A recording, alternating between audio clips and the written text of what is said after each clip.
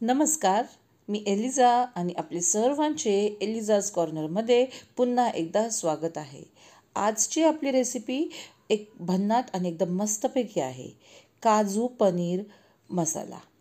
काजू पनीर मसाला आपण रेस्टॉरंटमध्ये गेलो आणि आपण जर व्हेजिटेरियन असेल तर त्यांना तर ती आवडतीच आवडती पण जे नॉन व्हेजिटेरियन आहे त्यांना देखील ती आवडती.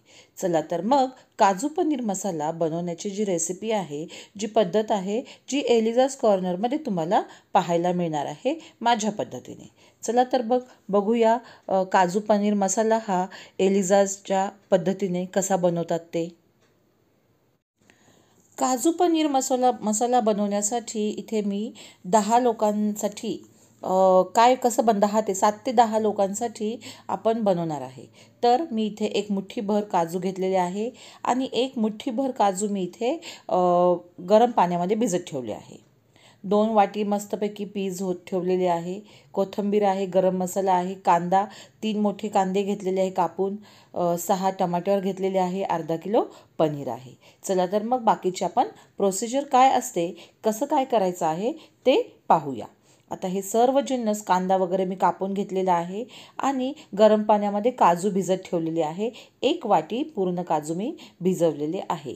आता आपण सर्वात प्रथम हे जे जिन्नस आहेत हे जे काजू आहेत आणि त्याचप्रमाणे जे पनीर आणि पिझ्झा आहेत हे पहिल्यांदा कमी तेलामध्ये थोडेसे फ्राय करून घेऊया.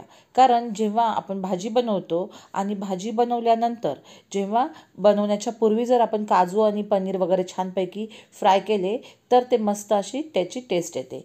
पनीर हे मी जास्त असे डीप फ्राय खूप जास्त वेळ फ्राय करणार नाही आहे काजूसारखे हलका फुलका त्याला एक कलर आला की मी लगेचच त्याला काढून घेणार आहे. हलका फुलका असं लाइट ब्राऊन कलर त्याला यायला पाहिजे. बघा हा जो कलर आहे ना तेवढाच यायला पाहिजे. त्याच्यामुळं काय होणार आहे? पनीर जे आहे तर पनीर हे कडक होणार नाही जेव्हा आपण ग्रेव्ही करतो तेव्हा. तर पूर्ण हे जे पनीर प्रकारे फ्राय करून घेणार आहे. मध्यम आकाराचे छानपैकी असे पनीर मी पनीरचे तुकडे करून घेतले होते.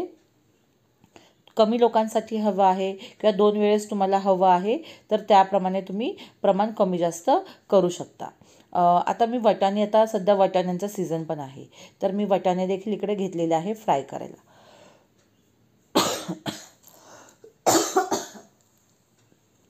वटाणे देखील मी छानपैकी तेलामध्ये टाकलेले आहे आणि वटाणे शिजायला किंवा फ्राय करायला लागले की ते तडतड उडू शकतात. म्हणून त्याच्यावर एक दोन मिनटं मी त्याला झाकण ठेवलेलं आहे आणि मस्तपैकी वटाणे इथे मी फ्राय करून घेतलेले आहे. जेव्हा वटाणे फ्राय होत होते तेव्हा मी काजूची बारीक प्युरी करून घेतली होती. आणि त्याच भांड्यामध्ये काजूची प्युरी केल्यावर टमाटे देखील पूर्ण प्युरी करून मी घेतलेली आहे. म्हणजे टमाट्याची पेस्ट आणि काजूची पेस्ट इथे आपण वापरणार आहे. आणि काजू पनीर मसाला बनवताना आपण इकडे बिलकुलही जी फ्रेश क्रीम आहे त्याचा वापर करणार नाही. तर इथे मी तेल जी ज्या कढईमध्ये आपण तळलं होतं सर्व जिन्नस त्याच कढईमध्ये आपण जास्त तेल अजून ला गरजेनुसार आपण इकडे माझ्याकडे माप आहे त्या मापाने मी तीन मापं इथे तेल टाकले आहे. म्हणजे तीन पळी तीन चमचे मोठे चमचे इकडे टाकलं आहे. लवंग दालचिनी काळी मिरी तमालपत्र हे याच्यामध्ये टाकायचं. त्याचा तडका यायला सुरुवात झाली की कांदा देखील टाकून घ्यायचा आहे. कांदा छानपैकी व्यवस्थित असा घ्यायचा आहे. छानपैकी गुलाबीसर रंग मस्तपैकी कांदा असा फ्राय झाल्यानंतर त्याच्यामध्ये आपण एक चमचा अद्रक लसूण पेस्ट टाकायचा आहे. कारण अद्रक लसूण टाकल्यामुळे काय होते की त्याची जी टेस्ट आहे ही पूर्ण छान लागतेच लागते. भाजीला चव येते. पण मटन नॉनव्हेजसाठी आपण जेव्हा करतो त्याच्यापेक्षा कमी अद्रक लसूण पेस्ट इथे वापरायची आहे. हळद टाकून घ्यायची आहे. आणि पूर्ण ही जिन्नस आहे ते व्यवस्थित मिक्स करून घ्यायची आहे. आता मी काय करत असते की हां आणि आपल्याकडं हा घरगुती जो मसाला आहे हा एक चमचा घरगुती मसाला टाकायचा आहे.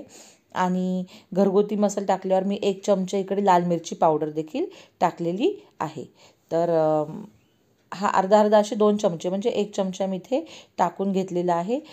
आता आजकाल मोरिंगा पावडरचे खूप मह मोरिंगा म्हणजे जी शेवग्याची पानं आहे त्याचे खूप महत्त्व प्रसिद्ध होत आहे.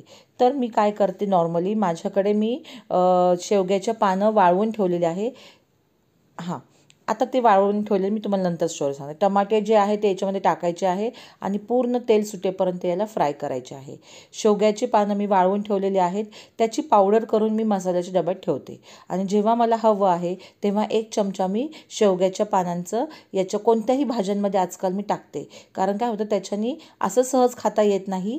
तर भाज्यांच्याद्वारे आपण काय करू हे जे शेवग्याची पानांची पावडर जी आहे ती टाकते मी नॉर्मली तर तुमच्यावर आहे ऑप्शनल आहे त्याच्यानी शरीराला बाकीचे बेनिफिट्स मिळतात.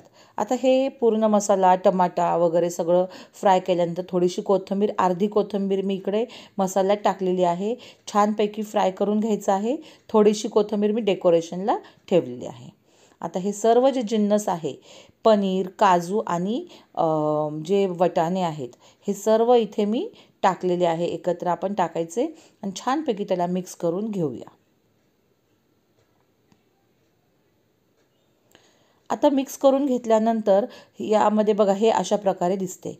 आता आपण काय करायचं आहे की जी टमाट्याची जी प्युरी आहे ती देखील आपण याच्यामध्ये टाकूया. आणि त्या प्युरीमध्ये थोडंसं जे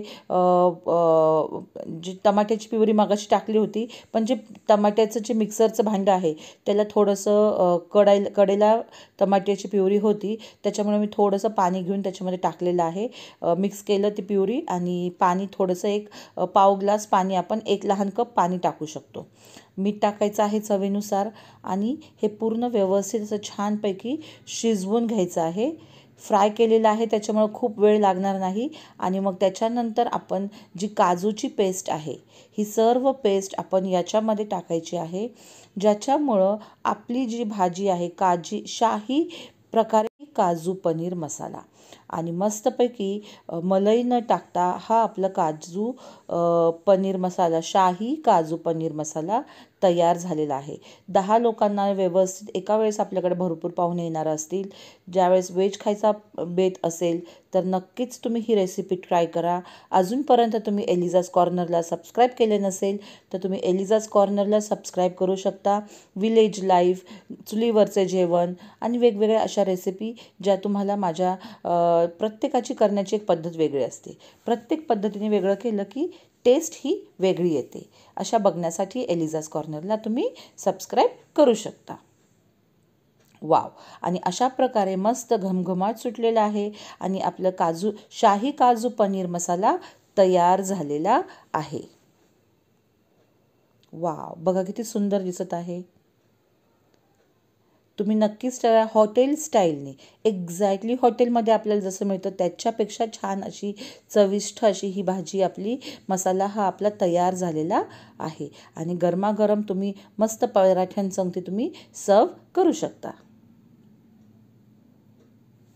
आणि मला असं वाटते की तुम्हाला ही माझी रेसिपी आवडली असेल बनवायला एकदम साध्या आणि सोप्या पद्धतीने हॉटेल स्टाईल रेस्टॉरंट स्टाईलने आपण शाही पनीर मसाला शाही काजू पनीर मसाला बनवलेला आहे आणि तुम्हाला ही रेसिपी आवडली असेल नक्कीच घरामध्ये ट्राय करा. आणि जर तुम्ही ही घरामध्ये ट्राय केली आणि छान झाली तर नक माझ्या या तुम्ही कमेंट देखील करू शकता. असेच लहान लहान व्हिडिओ घेऊन मी एलिझा तुम्हाला पुन्हा पुन्हा भेटायला येत राहील. तोपर्यंत जिथे आहे तिकडे खुश राहा स्वतःची काळजी घेत राहा परिवाराची काळजी आपण घेतच असतो. Bye bye see you take care may God bless you all your friends and family